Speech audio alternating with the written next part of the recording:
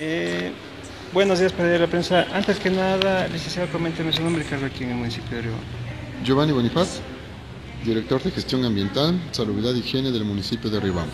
Eh, señor director, al momento en algunos parques de aquí de la ciudad, especialmente en el Parque Maldonado, se encuentran, digamos, un problema de aves. ¿Cómo se puede tratar desde, este punto de vista para que más o menos no sea perjudicial para la, tanto para el patrimonio, también para las personas que a diario pasan por ahí? Muchísimas gracias.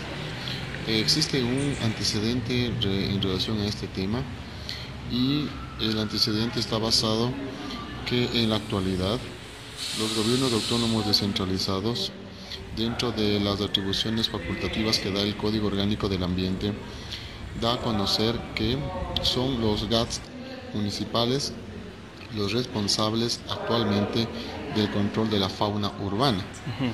Y obviamente al interior de al interior de, de, la fauna en un tema muy específico las palomas están consideradas una plaga en la actualidad.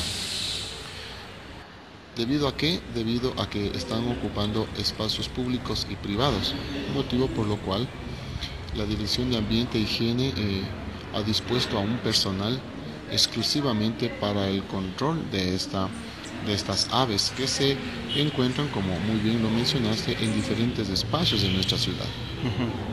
El control se lo hace diariamente, de lunes a viernes, con un inspector que eh, acude a diferentes espacios para ir controlando la reproducción de, estas, de esta especie y está basado obviamente en lo que ya estudios científicos y prácticas a nivel internacional han ido generando en los diferentes países.